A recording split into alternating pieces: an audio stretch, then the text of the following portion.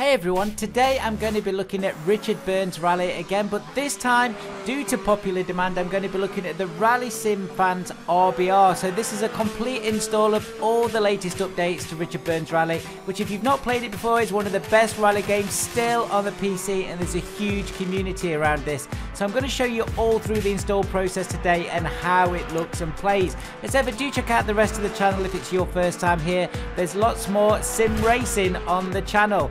Okay then, so the link is going to be in the description where to go to to get to this page here. This is the Rally Sim Fans race page. Now, as you can see at the top here, we've got version 1.35.0 that we're going to be installing. And there is an installer there that you need to click on.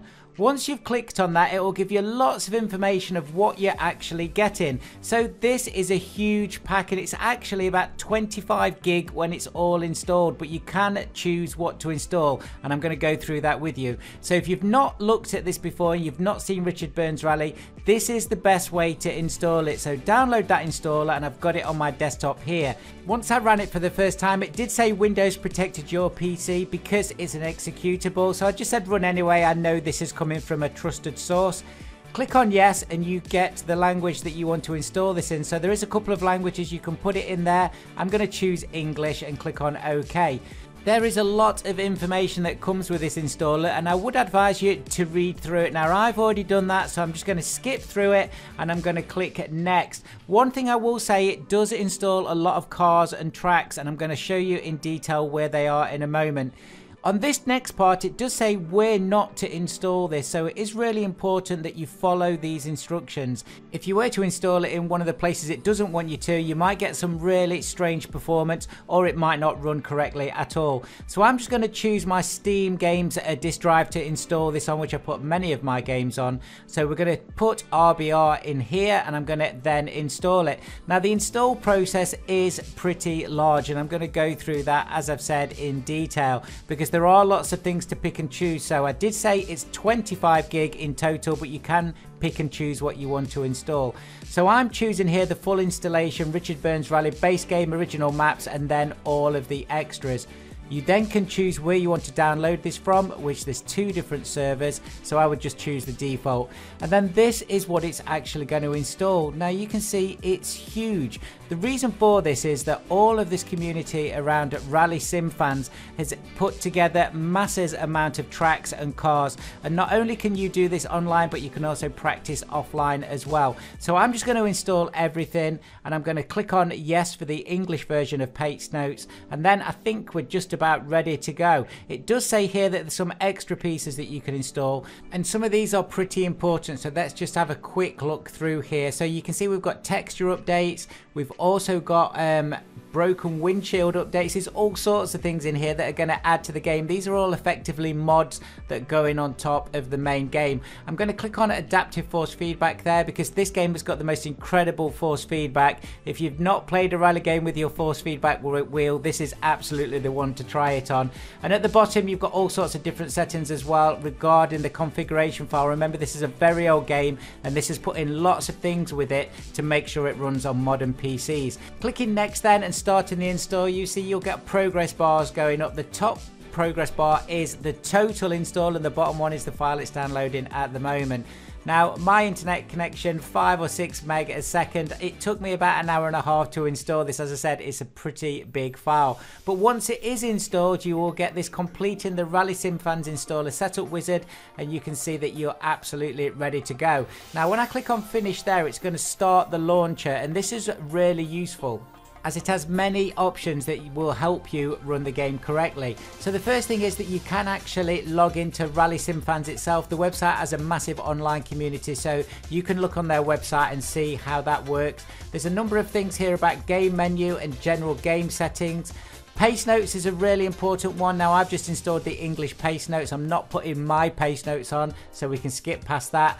Also, all your replays are stored in here as well. And the next one, screens and graphics, is really important. Because this is an old game, it wasn't built to run on modern PC. So everything that you can see in here is designed to try and make it easier to run on your PC. So I was actually running this in 4K at one point and it ran really well. So just have a look through these settings once you install for the first time and just see what you need to change, if anything. I think keeping all of these racing and replays on high is really important because obviously the graphics again are made from a number of years ago. I think it's over 15 years, 17 years ago this came out. So check all these and make sure you're getting the best settings for your computer. So I'm just changing a few things here. I want it on miles per hour for instance. And also do click on the apply changes when you've made any changes in here. That will update the INI file and make sure that you're going to get the experience that you're looking for.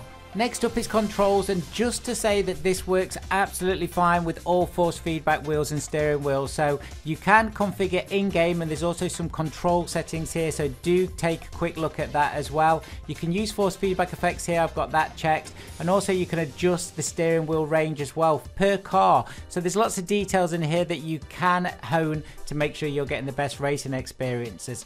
Also, there's a lot of tips and documents there. Again, a massive community around this that are really trying to make this the best rally game on the PC. So do make sure you have a good read of all those. And also, it's worth checking out the forums on Rally Sim fans to make sure that you're doing other things to get this running optimally on your computer.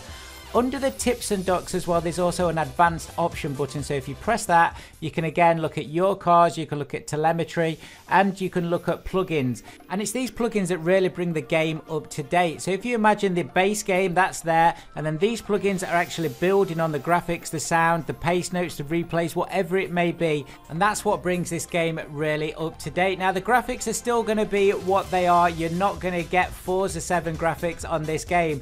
But I think the game looks really reasonable for what it's doing, but it's always about the handling and the way that these cars actually work on the track. That is what makes RBR so good. Also, if you do make some changes here or it's downloaded anything in the background and updating, it might ask you to just restart again. But once you've done that and you launch the game, this is where you're going to get to.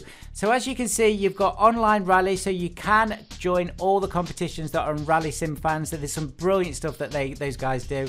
You've got time trial, you've got practice, replay, rally school, options, utilities, and credits. Now I have covered the rally school in one of my previous videos and it's very similar to that. These are all options for you to explore and you can do some really cool stuff and it will bring you up to speed really quickly. I will say that this game is incredibly hard and it's important to point that out. This is not an arcade rally game. You can see on this practice options all the different things that you can change and I'm just going through some of the stages here. You've got Harwood Forest 2, you've got New Bobs, you've got Green Hills. You can see that they're all very different and they will go around the world. Some of them are gravel, some of them are tarmac, some of them are snow. So you can cycle through these and the 25 gig install that I've put into this this is downloading all of these tracks so I can actually practice offline as well as run online. There's some very famous tracks on here and you will recognize a lot of them. So I'm just going to pick one and we're just going to show it in action.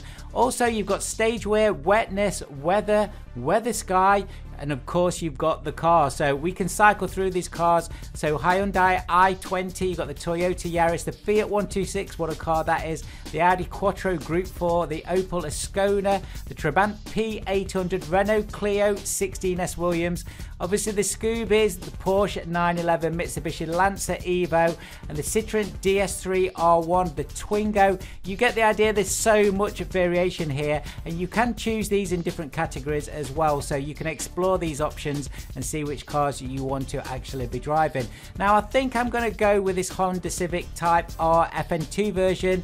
I know some people might say, well that's not the car I would go for. I'm going to try it on this and just to see what the game actually plays like. Also you can change the damage as well. I've got it on realistic. Tyres, you can change the tyre type. I'm on gravel drive at the moment. And also on setup, there is so many options there too. So I'm just going to click on start and I'm going to jump into this game and let's take a look at it in action. Flat right into over crest 30. Easy right. Easy right. Medium left 50. Over crest. Easy right 50. Easy left 70. 90 left 30. Flat left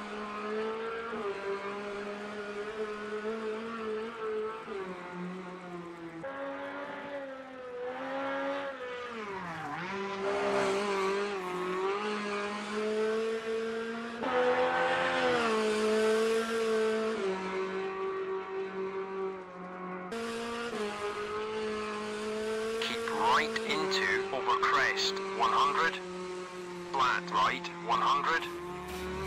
So that was just a small taste of what Richard Burns Rally 1.35 from Rally Sim Fans is all about. I'm only showing you one car and tracks. I wanted to get the install process right for you today. So if you are new to this game, do download it.